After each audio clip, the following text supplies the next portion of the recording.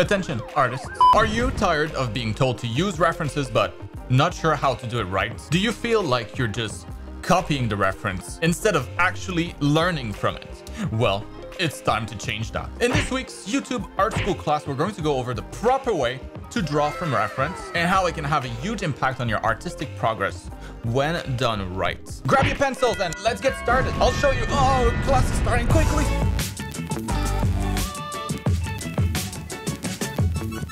All right, class is in session. Pay attention before you pay the class fee of either one like or one sub. Now, depending on your skill level, your approach to drawing from reference should change and evolve over time, just like when learning anything. So I'll show you the right way to approach drawing from reference, depending if you're a complete beginner, a more intermediate artist, or someone with more experience. Just scroll to the chapter in a timeline that best fits your current skill level and let's get learning. You got this. And if you're a beginner, you're up. As a beginner artist, it's important to focus on building your foundation of skills and learning the basics of drawing. When drawing from reference, you'll want to start with simple subjects that have clearly defined shapes and forms, like boxes, cylinders, spheres, and any kind of reference that might look like those simple volumes. You can of course try your hand at gesture drawing if you feel like that's too easy. In this case, you'll want to use simple idle poses preferably seen from the front or the back, but you know, without any kind of perspective. The simpler, the less dynamic the pose is, the better.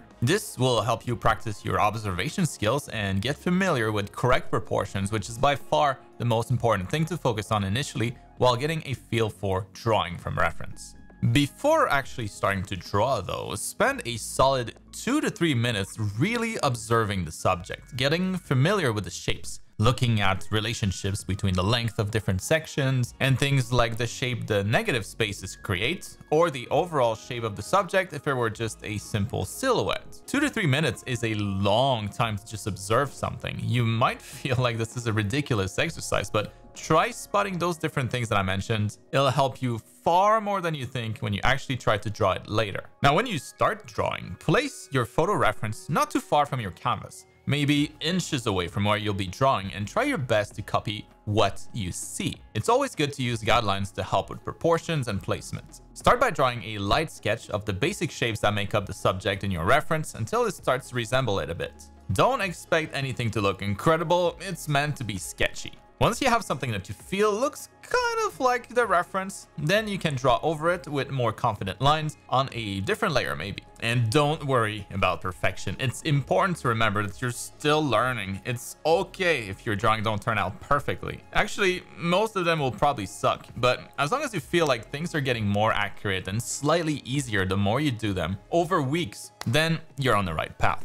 You might even surprise yourself here and there. When you can consistently draw convincing copies of your simple references, you're ready for the next level. And before I move on to the intermediate level, if you want to learn exactly how to do all of this stuff and more, explained in much more detail and structured like a real art school program, you should take advantage of the huge New Year sale that I'm having on my art program. It'll be valid until the end of this month only. We have an awesome community in our private Discord and the program just reached 14,000 students, which is more than I could have ever imagined. Check it out with the link in the video description. You won't regret it. Hopefully. All right, moving on to intermediate artists. If you have something like a year or more of practice, you probably fit the requirement here. Just like an RPG game where you want to keep fighting stronger and stronger enemies to get more XP and, you know, keep leveling up, it's important to adapt the way you practice as you improve or you'll just end up plateauing and wasting your time. At this point, you'll want to practice with a variety of reference materials, no longer limited to simple volumes or basic poses while practicing gesture drawing. Start experimenting with perspective. Try drawing your subjects from different angles and poses to challenge yourself and improve your skills. As you become more comfortable, you can also try working with different types of references, like video stills and live models, in addition to photos. Using references that are further away from your canvas will also help push the challenge. For beginners, I recommended that you have the reference right next to your drawing area. But now for intermediate artists, try having the reference on a different screen maybe, further away. For the biggest challenge, try with live models when doing gesture drawing or just drawing anything from life really, just by looking at your surroundings. At this level, you can also start to pay attention to more than just the lines and the proportions. Start observing the details and the anatomy maybe, the values and the shadows and the highlights,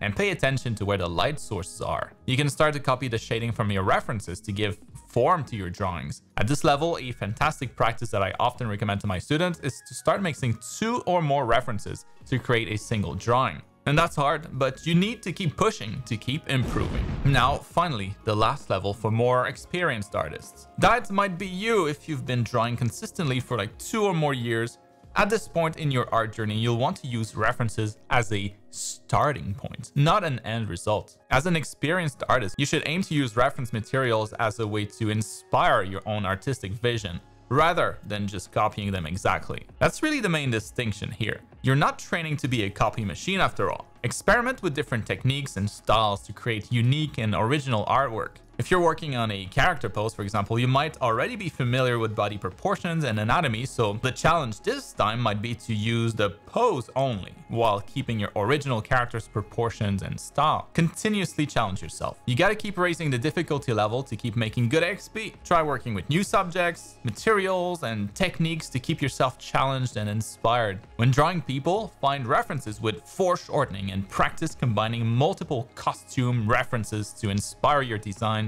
just like pros do when we design new characters, props, or environments for games or films. If anything, that's really the main difference. With more experience, you learn to use more references. At the start of your journey, the reference was the target. Now, your experience allows you to create the target on your own and use the references as helping hands to get there. And I almost forgot, you should do this at every level, but seek feedback and critique. Join a community like what my students have for the art school program and make sure that you're not always in your little art bubble. As you work on your art, ask other artists and professionals, hopefully, to help you identify areas of improvement and learn new techniques. That obviously becomes harder as you get better, but it's important to keep that humility and always seek feedback. There's always more to learn. That's what makes art so fun. I might have been drawing for 30 years now, but I'm still learning so much all the time. But that continuous growth is only possible if you adjust how you learn over time. Follow the rough guidelines from this video and you too should make solid progress for years to come. And that's gonna wrap it up for this week's class. Let me know if that was helpful in the comments. As usual, I read them all. This class is important to keep in mind, especially if you're taking part in the Learn to Draw in One Year challenge that I went over in last week's class, since it contains a lot of drawing from reference exercises. Check it out if you haven't, by the way. Link in the video description, along with a link to one of my two custom brush sets that you can download for absolutely free if you haven't already. These are some of my favorite brushes that I use all the time. Give them a go. There's a reason over 350,000 people have downloaded them so far. Have fun and see you next week.